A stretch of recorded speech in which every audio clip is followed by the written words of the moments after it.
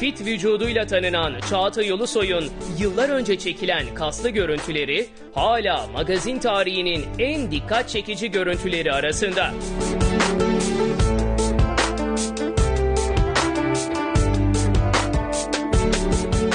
Çağatay Ulusoy'un o halinden eser yok şu sıra. Aldığı kilolarla manşetlerde Çağatay Ulusoy.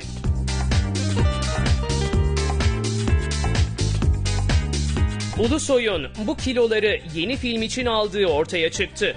Yakışıklı oyuncunun dünyanın en güçlü insanları arasında gösterilen Pehlivan Koca Yusuf'u canlandıracağı öğrenildi.